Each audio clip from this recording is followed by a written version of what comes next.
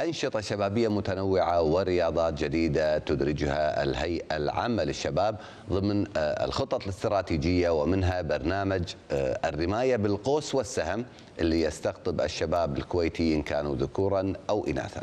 هذا البرنامج سيشكل مساحة جديدة أمام الشباب لاستثمار قدراتهم وإبراز طاقاتهم في المجال الرياضي كما في بقية المجالات.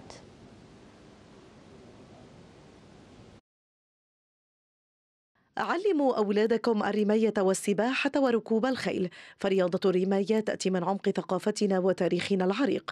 رياضة تلقى إقبالا منقطع النظير هذه الآونة من قبل الشباب. لذلك فقد قامت الهيئة العامة للشباب بافتتاح برنامج الرماية بالقوس والسهم. هناك توجه طيب جدا من الشباب إلى هذه الرياضة رياضة القوس والسهم. التفاعل ممتاز جدا الحضور كان ممتاز. تفاجئنا إن إن الفتيات تسجيلهم إلى أن بيغارب يوصل جهة ال50 ما شاء الله. في رغبة. إحنا نعزز المواهب. في هناك مواهب كويتية مواهب شابة. فإحنا راح ننوع في في جميع الأنشطة. يهدف برنامج الرمايه بالقوس والسهم اللي يتقدم اليوم الهيئة العامة للشباب لتنمية مهارات الشباب في هذه الرياضة.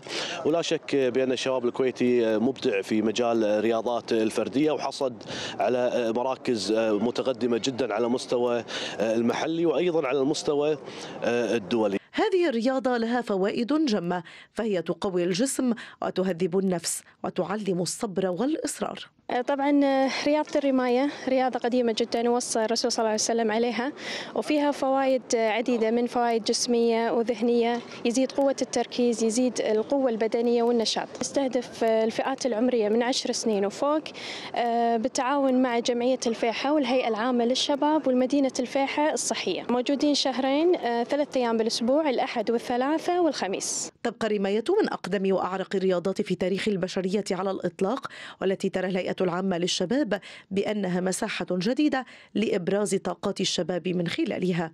ديما دحدال تلفزيون دولة الكويت.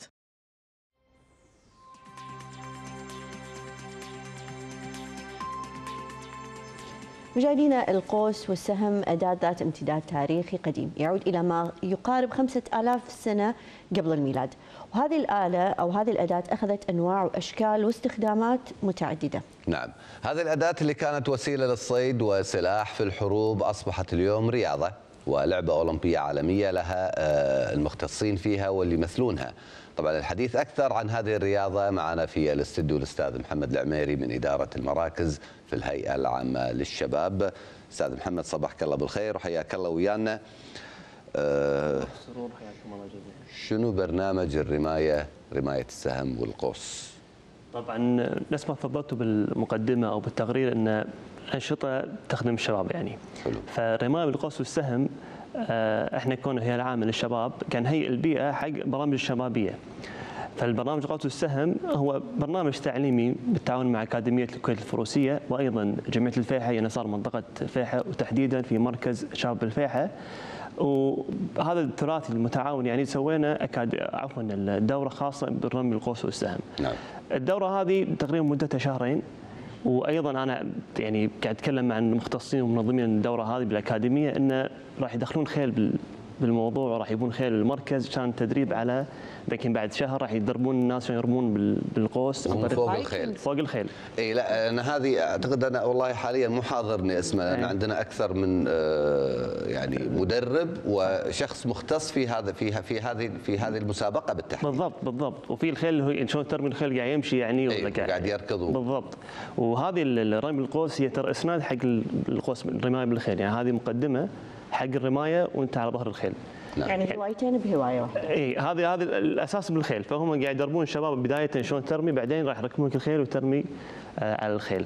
طبعا أنا كوني كنت مركز قاعد ارقل الموضوع قاعد أرتب الموضوع فتدربت شوية قاعد أجرب شلون أرمي. أنا على بالي تشوفون كنا شيء سهل ولا شيء بس أرمي. بعدين قاعد يدربني أحد المدربين يقول لا مو فيها تكتيك معين إنك أنت ما تمد إيدك إنك للخد تشدها شلون ترمي النيشان شلون كذا. فشيء مو يعني أنا قاعد أستذكر أيام قبل المعارك شلون يرمون فشيء مو صعب عظم مو سهل كلش. أستاذ محمد الشريحة العمرية المستهدفة حق هذه الهواية الجديدة من الشريحة اللي تقدمون لها هل... الشريحة العمرية حق الدورة هذه من 10 سنوات ل 28 سنة. والتسجيل جدا سهل يكون عن طريق آه، يا جمعيه الفيحة عن طريق العلاقات العامة أو الهيئه العامه للشباب أو أكاديمية ال- الكويت الفروسية عن طريق أكونتهم بالانستغرام. التس- التسجيل يعني الحين الدورة المبدئية لمدتها تقريبا شهر الجزء الأول من الدورة كل يعني كل الأعداد سكرت الحمد لله. ما شاء الله ولكن في دورات جاية فالحريصين أو اولياء الأمور حريصين على التسجيل على عيالهم لا خلي يبادرون بالتسجيل جميل. تفاعل الحضور وياكم والله التفاعل جدا ممتاز ما ذكرت أنا ان ان إن بالجزء الأول من الدورة الاعداد تسكرت يعني واللي جاوا الحضور في ناس أيضا يبون يعني معداتهم الظاهر يعني عندهم هواية بس بيتدربون أكثر. فشفنا ناس يبي معدات بال- بالقوس عشان يتدربون مع المختصين بالأكاديمية هذه. فشيء شيء حلو استغلال الجائزه الجائزات الصغيرة على قولتهم. بيطلعون روبن هود كويتي. إيه، بس ما يبوق ترى. بس ما يبوق لا ما يبوق إن شاء الله. إن شاء الله. محمد آه، أكيد في جهات شاركت أيضا معكم انت ذكرت مركز شباب الفيحة وفي جهات أخرى أي. تشارك وتدعم هذا النوع من الأنشطة؟ طبعا إحنا عندنا بالهيئه العامه للشباب إحنا من الشباب إلى الشباب، يعني عندنا إحنا تقريبا المراكز كلها تخدم الشباب، عندنا حاليا عشر مراكز في مختلف مناطق الكويت، كل عشر مراكز هذه فيها أكاديميات كرة القدم مثلا، عندنا قبل فترة آه، آه، سوينا مثلا آه، بالتعاون مع وزارة التربية في مدرستنا مسعف. إن نعطي دورة حق الاسعافات الأولية حق الطلبة. تقريبا دربنا من 600 إلى 700 طالب. بحيث لا قدر الله الاسعافات الأولية يعني قد يكون شيء بسيط قد ينقذ حياة واحد بعد الله عز وجل لذلك آه، اهتمينا بالموضوع هذا بالتعاون مع وزارة الصحة. أيضا عندنا في مركز شباب ال- الدعية عندنا دورة خاصة حق ال- ال- الاحتياجات الخاصة فيما يخص كرة القدم. في مدرب مختص حق الاحتياجات الخاصة يدربهم على كرة القدم وقريبا راح يصير بالشامية دورة كرة القدم حق الاعاقات الذهنية بحيث إنه مدرب مختص يتدرب على الموضوع هذا وإحنا على طول يعني أنصح أي أي واحد مثلا حاليا يفتح التليفون ويشوف اكونت الهيئة العامة للشباب يشوف الأنشطة الموجودة اسبوعيا تنزل أنشطة متنوعة حق الشباب. جميل إحنا يمكن بداية اللقاء وياك وإحنا قاعد نتكلم عن إن هذه اللعبة القوس والسهم أي. الرماية بالقوس والسهم هي داخل الأولمبياد آه، نقدر نقول إن آه، مخرجات هذه الدورة حاليا اللي تابعة الهيئه العامه للشباب ممكن يشاركون في الأولمبياد آه، هل لهم طريق إنهم مثلا يعني يجمعون نقاط معينة ومن ثم الدخول لهذه الأولمبياد؟ والله الاولمبيات موضوع يعني يعني هذا أكيد تهيئة حق الأولمبيات أو حق الارتقاء حق مستويات عالمية، يعني اليوم قاعد أشوف الشباب إن وايد مهتمين بالموضوع عندهم مشاركات برا الكويت وفي ناس مشاركين مسابقات ال- ال- المعترف فيها فوق الخيل برا الكويت، فإحنا نتمنى إن شاء الله إن نهيئ الشباب هذول اللي قاعد يشاركون إن يترقون ويرتقون إلى محافل عالمية يعني. إن شاء الله. أستاذ محمد هيئة الشباب أكيد مقدمة أو عندها عدة برامج قادمة حق الشباب. يا ريت لو تكلمنا عن بعض هذه البرامج. اللي أنتم مجهزينها حق الشباب مستقبلا. تمام. عندنا برامج مثلا مثل ما ذكرت أكاديمية كرة القدم موجودة. أيضا كان عندنا دورة ال- اللي هي مثلا من الدورات الحرفية اللي تحتسب التراث الكويتي دورة صناعة البوم. راح خلاص دوره راح تجي دورة قادمة. إن شلون تسوي بوم مجسم من حطبه إلى بوم كامل. وعندنا أيضا عنصر نسائي مشارك ومثلا دورة دورات وادي الشباب شلون الأعمال الإلكترونيات وبالكمبيوترات وايد أشياء حلوة يعني فإن شاء الله مثل ما ذكرت أنا الأكونت هيئه عالم الشباب في الدورات اللي راح القادمة والدورات السابقة وتقرير كامل عن انشطه الهيئه. إن شاء الله رسالة توجهها للشباب بشكل عام والله أنا أقول مثلا حق الشباب يعني وقتكم لا يضيع بالاجازه اللي طافت يمكن في بعض الناس ما استغلوها.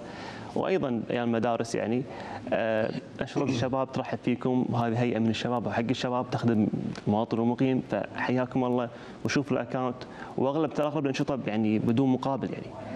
إذا مو كلها يعني فأنصح إن يبادرون فيها وإن شاء الله يعني يستفيدون منها. إن شاء الله أستاذ محمد يعني هذه جهودكم أكيد تشكرون عليها وأكيد هذه فرصة للشباب إنه هو يستثمر وقته باشياء آه، أكثر فائده وتعود عليه ويكتشف هواياته. الله يعطيكم اذا العافية. الأستاذ محمد العميري من إدارة المراكز في الهيئة العامة للشباب شكرا جزيلا على حضورك معنا. حياكم الله وأنتم ما قصرتوا كلكم على إتاحة هذه الفرصة. شكرا جزيلا بارك الله فيك